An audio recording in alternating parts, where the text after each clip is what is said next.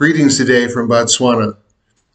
Today we want to look at what is a private interpretation of prophecy. We also want to look at why my door is flying open on a windy day. But uh, it's not the it's not the Holy Spirit, I don't think, but He is here with us. Praise God. But we want to look at this a little bit. Uh, we look at this from the Scripture. Uh, the key scripture is in 2 Peter 1.20, but I'm going to read from 19 through 21 at the end of 2 Peter chapter 1. We have also a more sure word of prophecy, whereunto ye do well that ye take heed, as unto a light that shineth in a dark place, until the day dawn and the day star arise in your hearts. Knowing this first, that no prophecy of the Scripture is of any private interpretation for the, for the prophecy came not in old time by the will of man, but holy men of God spake as they were moved by the Holy Ghost. And of course, the focus here is knowing this first, that no prophecy of the scripture is of any private interpretation. So the question would be, what does that mean, private interpretation? And I would just start by saying, uh, you know, first of all, that prophecy can be very difficult uh, what I should say tricky, because what I see from Scripture is that uh, prophecy itself is not fully and perfectly known until after it happens. What we see admonished here, even in verse 19, is saying that we would do well to take heed to the words of prophecy, to listen to them, to watch for them, to see what's going on. And then when the time comes, we will know it perfectly. Uh, we have some examples of this, but there is another brief scripture I will look at uh, from 1 Corinthians 13 9 and 10. For we know in part, and we prophesy in part, but when that which is perfect is come, then that which is in part shall be done away. And so we see again, even here, it's saying we know in part. When Jesus came to this earth for his fleshly ministry, people knew that the Messiah was going to come. They were expecting him, uh, they were looking for him. But when he was here, even as it says in, in John, the Gospel of John, chapter 1, he was in the world, the world was made by him, and the world knew him not. So it is something that they couldn't quite put it together. And even his disciples, though they came to confess that he was the Christ, he was the Messiah, they still didn't get the full picture of it until until later on, after he had died, after he was resurrected. Uh, you see another example, perhaps in uh, the book of Acts, chapter two, when the Holy Spirit fell upon them and they were speaking in tongues, and Peter was saying, "This is these are the words of prophecy that were spoken by the prophet Joel." So he came to know it when it was done and it was it was perfect. But that's why we have to study it to be ready. And that's why Jesus said to watch so diligently. Because prophecy in part can be a little bit mysterious, but God's word is true. But we need to beware of private interpretation.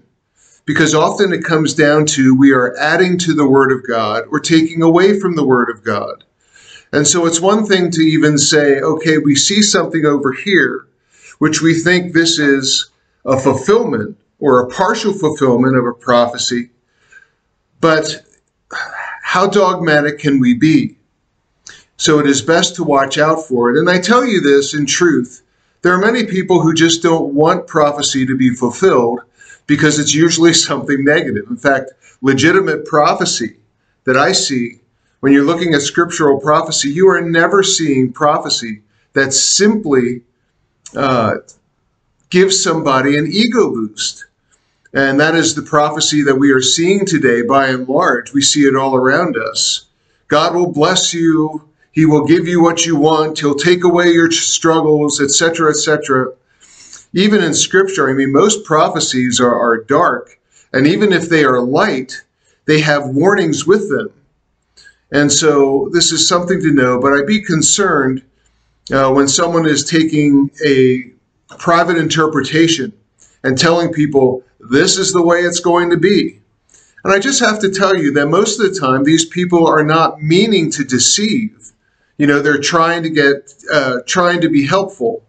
sometimes, in terms of their zeal, they get carried away and do things that they should not. But I hope today that I'll be able to give you, uh, I'll be able to give you a couple examples of what private interpretation is.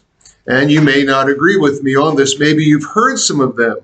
And if you've heard them and it's been drummed into your head, and some respectable teachers that you care for or believe in have said it, you may not want to believe me. But I hope you can see at least what I mean and keep this before the Lord uh, to see how He will lead you on this. But again, uh, the admonitions about adding to the word or taking away from the word, we find them in Deuteronomy, Proverbs, and Revelation, more or less in the beginning, the middle, and the end of Scripture. Of course, I will have references to numerous scriptures uh, in the description, which is uh, my habit to do. All scriptures taken from the King James Bible. Now, when it came to uh, it came to the time that we are uh, we're looking at now, of course, the end times. Lots of prophecy in the book of Revelation and the Gospels, uh, and so over the years, one of the advantages, and I, am not clapping myself on the back, I think I've told you already, I didn't want to get into this subject in my life, you know, but I never had that indoctrination into the pre trib rapture, like the real deep teachings and stuff that really came and started in 1833 in England with a preacher named Darby. And this, of course, came to America through the through Cyrus Scofield and the Scofield Reference Bible and since this, that was uh, published in 1909. And now, as you can see, it's been over 100 years. Uh, these are usually of a dispensational ilk. And so this has been drummed into their heads. And unfortunately, what should have been only commentary of the word for many became God's interpretation of the word to them. And it really wasn't. It was only, these were only the views of a private interpretation. So one that, that uh, you may have heard of is in the parable of the fig tree. Okay, and it is said that the parable of the fig tree is alluded to in Matthew, Mark, and Luke. And it was often said that the parable of the fig tree meant Israel would reappear as a nation. Uh, I'm not sure where anyone got that idea. I'm not sure when the parable of the fig tree was posted. I do know that a very evil source wanted to bring Israel back as a nation listed uh, identifiably, at least from 1871.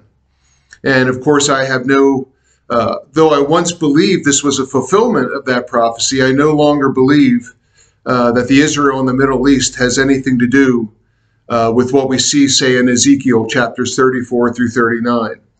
But here's this parable of the fig tree. And so I will just take this from Matthew 24 and I will read it for what it says. But you know, in Matthew 24, Jesus was talking about the end, and in verse 3, his disciples asked him, his disciples came to him privately and asked him of the end of the world, of his coming, the signs, and what would happen. And from verses 4 through 31, Jesus was identifying what they would look for, what they would see. Okay, he gave them the signs, he gave them what they were asking for. So then in 32, he says, Now learn a parable of the fig tree. When his branch is yet tender, and putteth forth leaves, ye know that summer is nigh. So likewise ye, when ye shall see all these things, know that it is near, even at the doors. Verily I say unto you, this generation shall not pass till all those things be accomplished, or all these things be accomplished. And so people have taken this to say Israel would reappear as a nation. What can you gain in this passage that actually tells you that? To identify Israel with a fig tree? You can't find this scripturally, okay? And he just explains it. He said, in the same way that these signs would come to show you what's going on, these are the signs of the end. It's just like it is when a tree puts forth its blooms. You know that summer is nigh. So when you see these things happening, you'll know the end is near. It is even at the doors. Jesus posts the parable and he explains it. And even in the book of Luke, it says, the parable of the fig, he says, Behold the fig tree and all the trees. So this is nothing profound. As a matter of fact, I even remember because Israel came back as a nation, uh, I think it was uh, May 14th, 1948. In 1988, people were saying, "Oh, 40 years is that's the length of a generation. Jesus is returning. He's returning." Well, guess what? We're over. We're like almost 35 years down the line since then, and it didn't happen. And that's because people are following this private interpretation. At least I can hope you see what I mean by this. Uh, but another one of the things that I had heard many times, as I, heard, as I had heard, there will be a last days revival in the world. Oh, people will be turning to Christ, etc., etc. I've already spoken of in another video how in Revelation chapter 7, uh, for the new Bible versions, not the King James, not the preserved Word of God, but they added the word the to great tribulation to make it the great tribulation. And by the addition of this one word, it makes it sound like multitudes will be saved during the tribulation. But the King James does not have that. It just says, all these came out of great tribulation, not the great tribulation. So that's a deception that Satan has built into uh, one of the many deceptions he's built into these uh, revised uh, Bible versions. But I had wondered where did this talk of revival come from?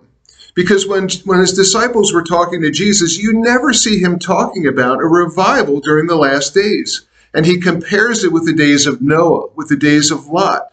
There was no revival recorded at this time.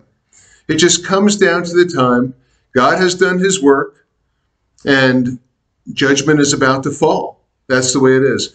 But finally, one time I saw it as I was in a used bookstore. It was actually in a book by David Wilkerson, whom I consider to have been a great brother, and I hope to meet him one day.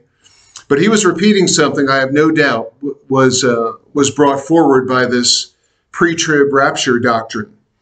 And here it is. It comes straight from the book of Joel in chapter 2. And I will read this to you, I hope.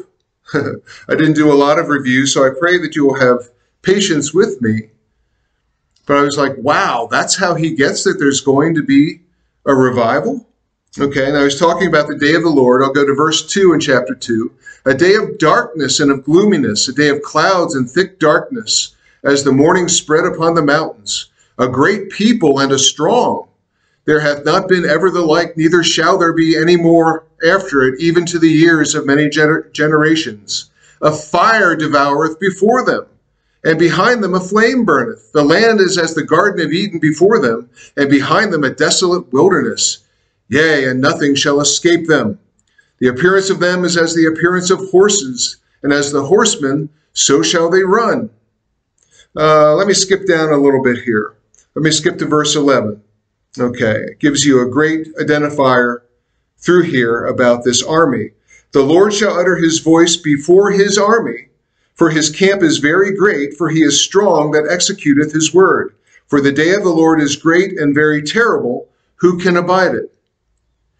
That was the passage, passage being used to say it's a revival. How in the world do you get a Christian revival out of this passage?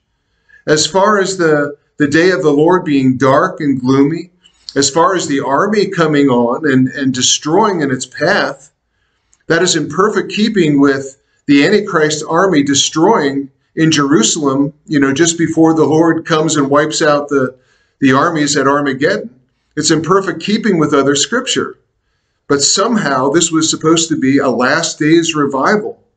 And it's like, well, maybe, I, and I read, I jumped to verse 11 because it says, uh, talks about the Lord's army. But the Lord says in Psalm 17, 13 that he uses the wicked as his sword.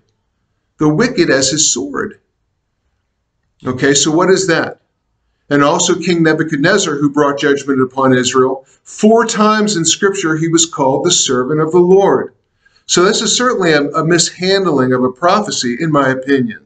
But I'm trying to show you this is where they got the revival thing from. And it continued later, uh, a little later on. And this was, let's see what I have written down here, in 18 to 27.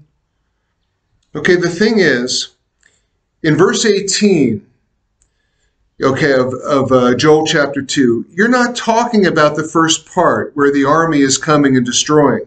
Now you're talking about when the Lord has returned, and you're talking about uh, the millennial reign of Jesus and such like this. However, when you look down through here, in verse 23, it says, Be glad, ye children of Zion, and rejoice in the Lord your God, for he hath given you the former rain moderately, and he will cause to come down for you the rain, the former rain, and the latter rain in the first month. The floor shall be full of wheat, the vats shall overflow with wine and oil. This too was being said that because he talked about the latter rain, this meant an outpouring of his spirit that would bring a revival. But the context of the passage is saying this is the millennium. He is making the land again whole. He's restoring it the way it used to be. It made perfect sense to me, but this is why through years I never saw it. Okay, and these are examples of what are private interpretations of the Word of God. And unfortunately, we see this in many, many, well, we will we could hear of it in many, many instances. And so this is why, like the uh, like the citizens, the, the believers in the city of Berea in Acts 17:11, we should be searching the scriptures daily to see if these things are so. We want to know what God said. Okay, and we will not know prophecy perfectly until after it happens. There are portions of the book of Revelation that I see that I think I know. I think I know some of the things coming, but I don't know it perfectly. I really don't. And I don't want people to, to blindly listen to me either. That would be an undue respect of persons. Those in Berea were commended.